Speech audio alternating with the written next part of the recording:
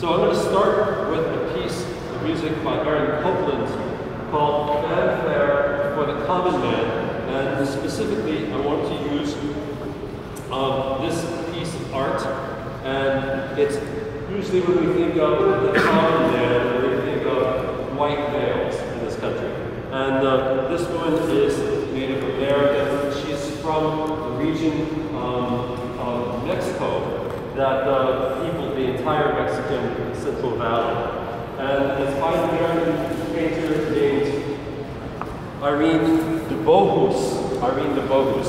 And it's named for, the name of the painting is her, which is Modesta. That's her name in real life. It was painted in 1940. It's just about the same time this piece of music was written. So,